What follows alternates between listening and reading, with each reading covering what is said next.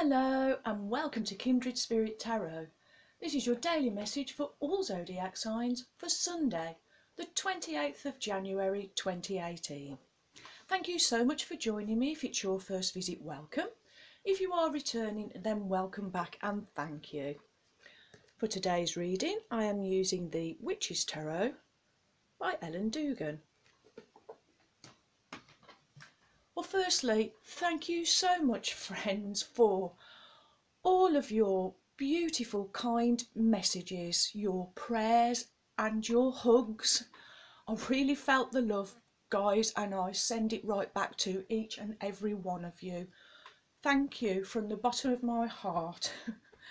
so I'm sorry I was away a little longer than I thought, but hey ho, you know what it's like when you get overwhelmed and emotions kind of come in waves and I like to be really connected when I do the videos and at my total best. So I am back, I'm feeling at my total best and I am excited to see what the message is from Spirit for us for today. So what is the message for my wonderful friends for Sunday, the 28th of January 2018? What is the message from the Witches Tarot for Sunday, the 28th of January 2018? Thank you. Oh, thank you. Oh, okay. Have a selection here, friends. Okay we have the Four of Wands, followed by the King of Pentacles, followed by the Three of Wands, followed by Major Arcana, the Shadow Side, and ending with Major Arcana, the Moon. Our first card, the wonderful Four of Wands. This is a real celebration you are celebrating in the material world. You are celebrating your secure and stable life. You have created a structure, a, a real secure life for yourselves. We see the four wands, they are giving blossom, we have garlands of flowers, and we have four maidens dancing almost as if they're dancing around the maypole. And you have their castle in the background, showing their, their wealth in the material world.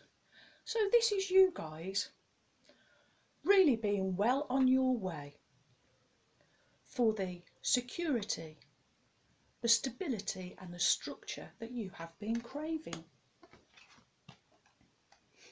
And next, guys, we have the wonderful King of Pentacles. And kings collectively are air. So this is kind of an air and earth energy. With kings comes power and success accomplishment, responsibility. And this king, he really knows how to how to manifest wealth for himself, how to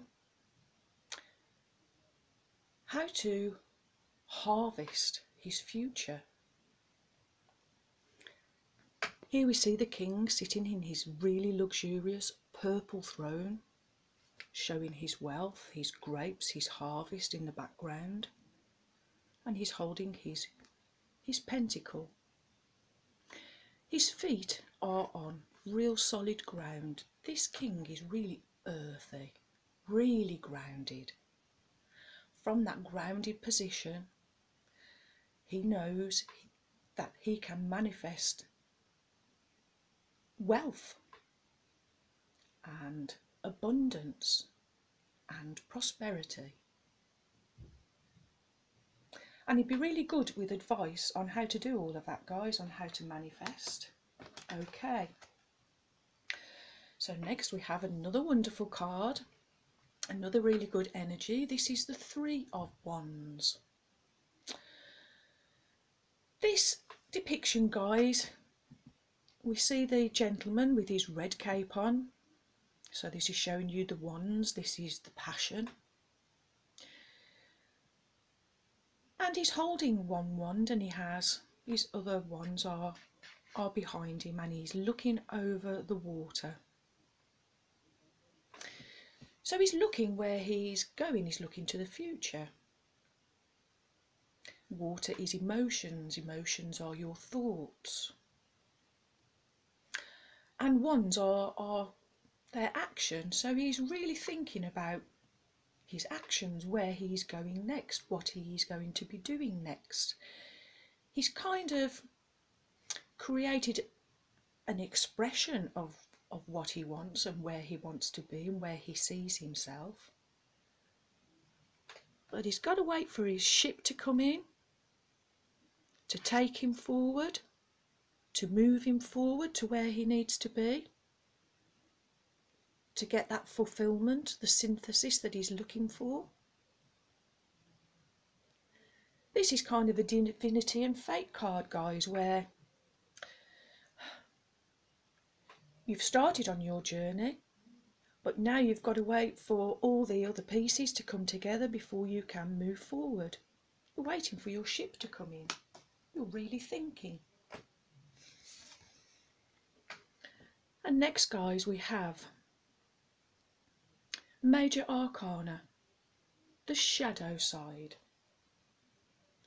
This is, well, it's the devil card, isn't it, basically? It's, hmm, it is you guys really, really thinking this is the thinking I feel, friends. This is for some of you. You know that you are going to have to look at yourself and look at your negative side. Maybe there are things that you are doing, things that you are saying that is causing kind of a karmistic wheel for you. And maybe this is now the time to to get off that karmistic wheel and to move yourself forward. Maybe you need to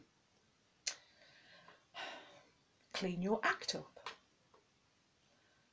Maybe this it could be that someone else this is say the devil in the background, the negative energy, this could be other people and their power over you. This really could be, guys. I feel facing your fears.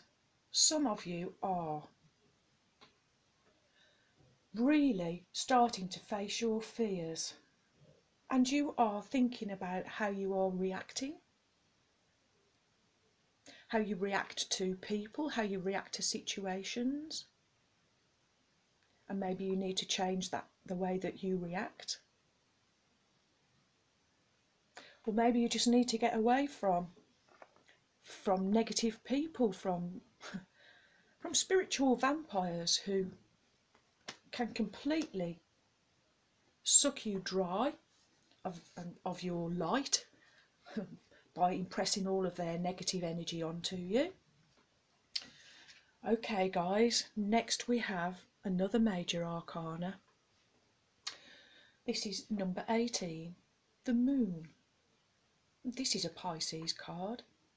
This, the devil card, sorry guys, the, um, the shadow side, this is Capricorn. So this could pertain to Capricorns out there or maybe the person that has power over you is a Capricorn. But next you get another major arcana, number 20, Karma and we do have a a full moon at the end of this month guys and full moons are like a big reveal, and things will be revealed to you whether you want them to be or, or not. But illusions are shown through the veil. This is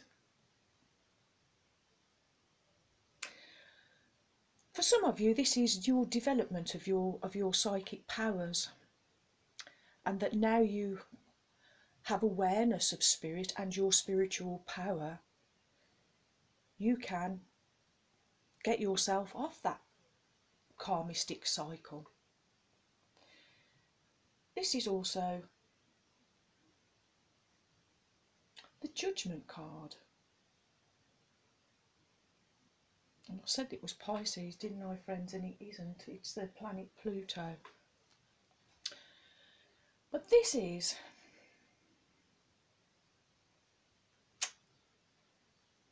you guys are really making a change for your future.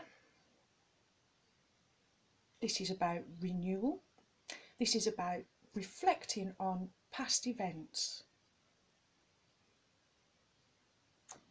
This is you guys following a spiritual practice. Oh, okay, friends.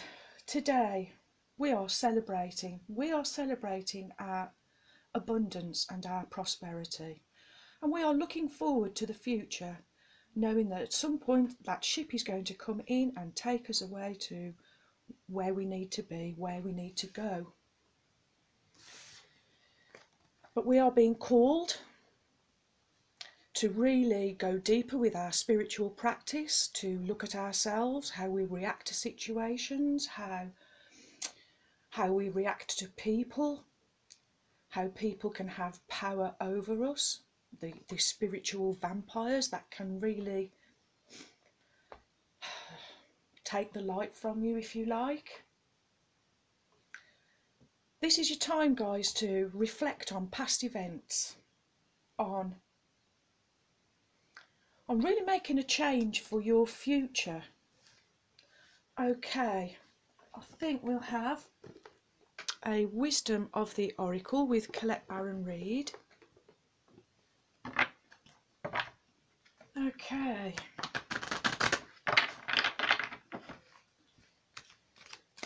So what is it my friends need to know from the Wisdom of the Oracle for January the 28th 2018. What is it my wonderful friends need to know? From the wisdom of the Oracle. For Sunday, the 28th of January, 2018. Thank you.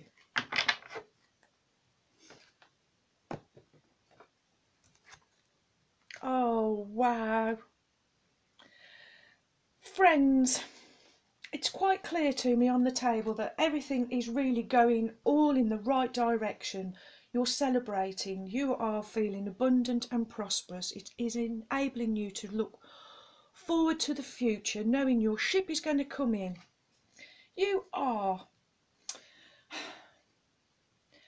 You are, guys, are making a real positive change for your future. You are changing how you react. You are stopping people having power over you. You are making a positive a positive change for the future after reflecting on past events.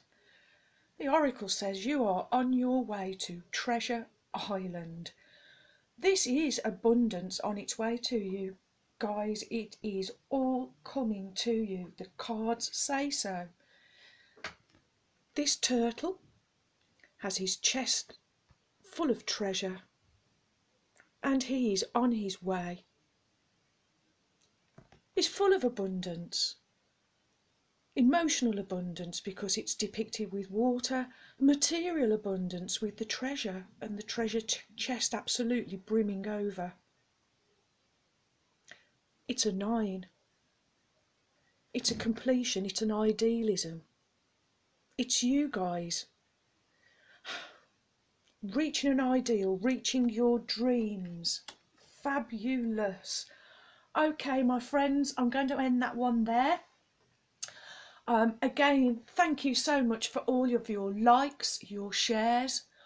Welcome new subscribers. Thank you for your support. Matt, thank you for your wonderful comment, and it is wonderful to know that the message from Spirit is helping you. So, thank you all, guys, once again for your lovely comments. And I really wish you all a joyful, a peaceful, and a blessed day. And until tomorrow, my friends, goodbye.